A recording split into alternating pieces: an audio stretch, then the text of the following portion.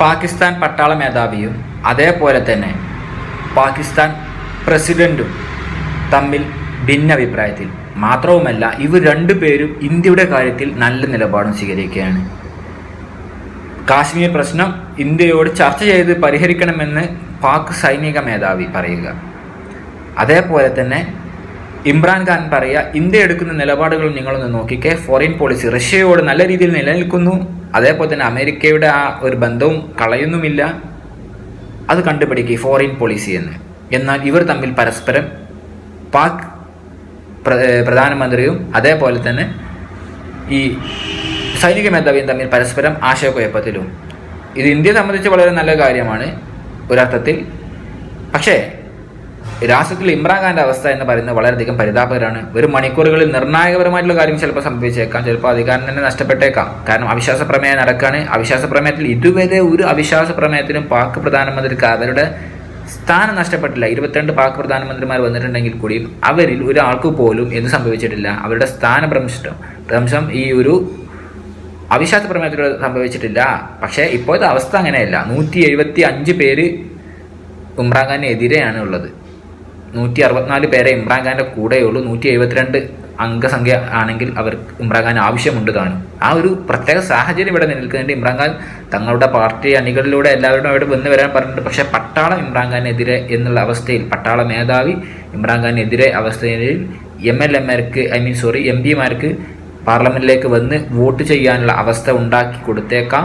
മാത്രവുമല്ല ഈ അവിശ്വാസ പ്രമേയത്തിലൂടെ ഒരു തിരിച്ചടി നേരിടുകയാണെങ്കിൽ നവാസ് ഷെരീഫിന്റെ സഹോദരൻ ചിലപ്പോൾ അധികാരത്തിൽ വന്നേക്കാം. അല്ലെങ്കിൽ ഇമ്രാൻഖാൻ ജയിക്കാൻ ഇമ്രാൻഖാൻ തന്നെ തുടരുന്നേക്കും. അല്ലാത്ത പക്ഷം ചിലപ്പോൾ പട്ടാളം പോലും ഈ ഒരു ഭരണം ഏറ്റെടുത്തേക്കാം. കടുത്ത പ്രതിസന്ധിയിലാണ് പാകിസ്ഥാൻ ഉള്ളത്. മാത്രവുമല്ല ഏറ്റവും വലിയ അത്ഭുതം എന്ന് വെച്ച് കഴിഞ്ഞാൽ നമ്മൾ നേരത്തെ പറഞ്ഞ അവിശ്വാസ പ്രമേയത്തിലൂടെ ഒരു പാക് പ്രധാനമന്ത്രിയും ഇരുപത്തിരണ്ട് പാക് പ്രധാനമന്ത്രിമാരിൽ ഒരാൾ പോലും പുറത്തായിട്ടില്ല. അവിശ്വാസ പ്രമേയത്തെ അതിജീവിച്ചു എന്ന് നമ്മൾ പറഞ്ഞു. പക്ഷേ ഒരു പ്രധാനമന്ത്രിയും പാകിസ്ഥാന്റെ പുറത്ത് ഇന്ത്യയ്ക്ക് എത്രയോ നല്ല രാഷ്ട്രമാണെന്ന് നമുക്ക് അപ്പോൾ തന്നെ ആശ്വസിക്കാം. പാകിസ്ഥാനിലെ ഒരു പ്രധാനമന്ത്രിയും അഞ്ച് വർഷം അവരുടെ ഭരണം എന്താക്കിയിട്ടില്ല. മുന്നോട്ട് കൊണ്ടില്ല അഞ്ച് വർഷത്തിന് മുമ്പ് അവരുടെയൊക്കെ ഇമ്രാൻഖാന്റെ ഭാഷയിൽ പറയുകയാണെങ്കിൽ അവരുടെയൊക്കെ വിക്കറ്റ് അതിന്റെ ഇടയ്ക്ക് തന്നെ തെറിച്ചിട്ടുണ്ട്. ഇതിൽ ഏറ്റവും വലിയ ഇഷ്യൂ എന്താണെന്ന് വെച്ച് കഴിഞ്ഞാൽ ഉക്രൈൻ റഷ്യ ഉക്രൈൻ റഷ്യ യുദ്ധത്തിൽ റഷ്യയോട് ചെറിയൊരു മമതയുണ്ട് ആർക്ക്? ഇമ്രാൻഖാന് ഇമ്രാൻഖാൻ ഇപ്പോൾ കഴിഞ്ഞ സ്റ്റേറ്റ്മെന്റുകളൊക്കെ ഇന്ത്യയിൽ സൂചിപ്പിച്ചതുപോലെ റഷ്യയോട് ചെറിയ മമത ഉണ്ട് ഇന്ത്യക്കും ഉണ്ടല്ലോ റഷ്യയോടുള്ള അതാണ് ഇന്ത്യയുടെ വിദേശ ഫോറിൻ പോളിസി കണ്ടുപഠിക്കണമെന്ന്. പക്ഷേ പാക് സൈന്യത്തിന് പറയും പാക് സൈന്യം പറയുന്നത് അമേരിക്കയും വേണം. ചൈന പ്രധാനപ്പെട്ടതുപോലെ തന്നെ അവർക്ക് അമേരിക്കയും വേണം. അല്ലാതെ റഷ്യയല്ല റഷ്യയോടല്ല കൂടുതൽ മമത പാക് പട്ടാളത്തിന് കൂടുതൽ മമത. അമേരിക്കയോടാണ് കാരണം ഇന്ത്യ ഉപയോഗിക്കുന്ന മിക്ക ആയുധങ്ങളും റഷ്യയുടേതാണ്. അതേപോലെ തന്നെ പാകിസ്ഥാൻ ഉപയോഗിക്കുന്ന പല ആയുധങ്ങളും അമേരിക്കയുടേതാണ്.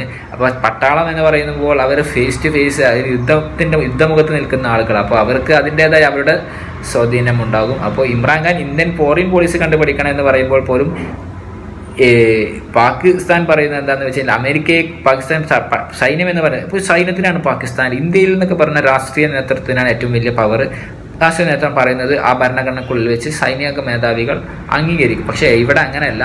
പാകിസ്ഥാൻ നേരെ തിരിച്ചാണ്. പാകിസ്ഥാൻ സൈനിക പട്ടാളത്തിന് ഭയങ്കരമായ രീതിയിലുള്ള ഭരണമുണ്ട്. അത് തന്നെയാണ് ഇവിടുത്തെ ഏറ്റവും വലിയ പ്രശ്നവും. അപ്പോൾ ഈ പട്ടാളം പറയുന്നത് എന്താ വെച്ച് കഴിഞ്ഞാൽ അമേരിക്കയും കൂടി ഞങ്ങൾക്ക് വേണമെന്നാണ്.